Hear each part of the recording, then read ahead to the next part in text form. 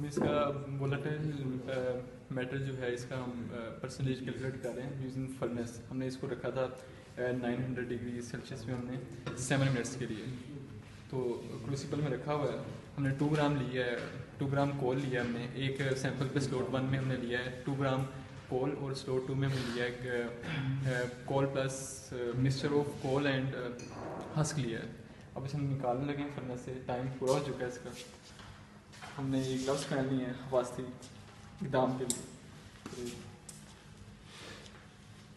اور یہ جو ہماری ڈیسیکیٹر ہے، پھر یہاں ہم نکال کے فنس میں رکھیں گے کہ اس کے موسچر جو ہے کمپلیٹ باہر نہ جائیں۔ اور اس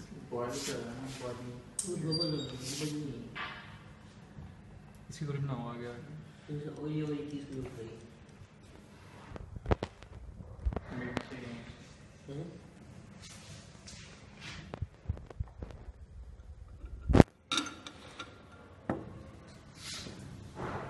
نکال لو دوسرے کو نکالنا ہے نا۔ ایٹ اے ٹائم آپ نے اس میں رکھا ہے ٹائم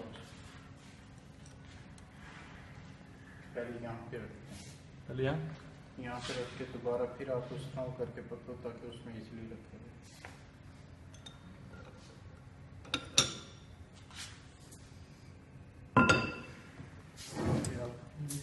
فائیو سے ٹین منٹ سے آپ کیا کرو گے؟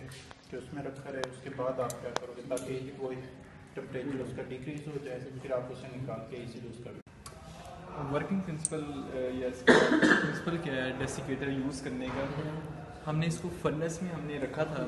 جب ہم نے اپنے کروسیبل کو تو اس کو ہم نے موسچر کہیں اس کا ایڈ نہ ہو جائے اس کے اندر، ہم نے فوراً اس کو اٹھا کے ہم نے، اس کی مدد سے ہم نے اس کے اندر ڈیسیکیٹر کے اندر رکھ دیا ہم نے۔ ڈیسیکیٹر میں سلیکا جل ہوتی ہے۔ سلیکا جل کیا کرتی ہے کہ اس کو جو ہے مطلب موسچر کو اندر جانے نہیں دیتی، ٹھیک ہے؟ مطلب موسچر ہمارے کروسیبل کے اندر جائے گا نہیں، اور ہمارا جو ویٹ جو ہے ایگزیکٹ آئے گا، یہی پرپس ہے اس کا ڈیسیکیٹر کا پرپس کہ جو موسچر کو ایڈ اندر ہم نہ دے